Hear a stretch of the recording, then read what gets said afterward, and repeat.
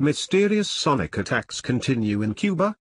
While the mysterious global hum, that low-frequency tone heard by some people around the world and blamed on mating toadfish, underwater waves, machines and tinnitus, gets all of the publicity, a different mysterious sonic occurrence in Cuba is affecting only Americans, particularly spies and government workers, and has caused such serious health problems that the U.S. State Department is recalling all non-essential personnel and warning Americans not to travel to Cuba. Meanwhile, the Cuban government denies all reports.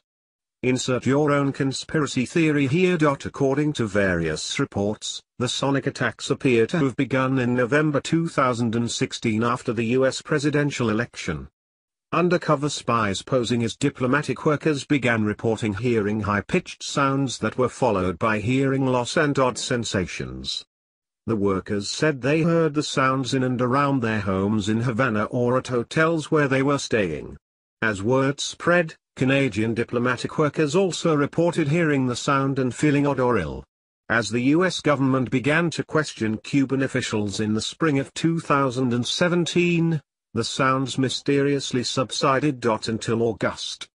That's when the headache-inducing hums began again and this time the severity of the symptoms forced concerned workers to escalate the reports to Secretary of State Rex Tillerson. The sounds seemed to have increased in intensity and appeared to have pinpoint accuracy, one worker claimed he could hear it on his bed, but nowhere else.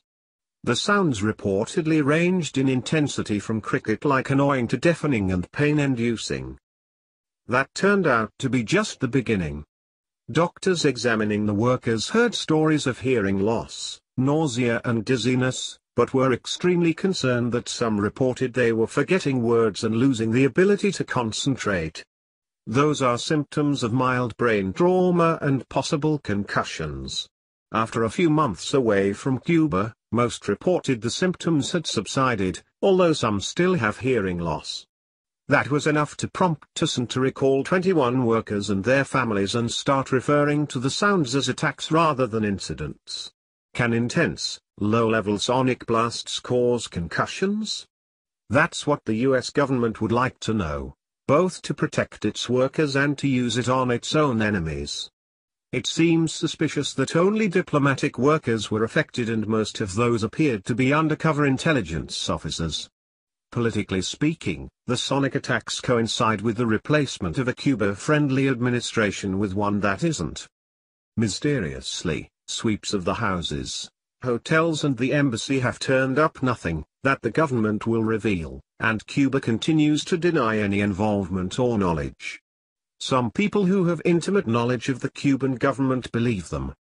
If that's the case, what is causing the sound and the after effects and why can't its source be found? Has someone developed a way to focus and intensify the worldwide hum and direct it at specific targets? Has anyone checked the hotel pools for toadfish?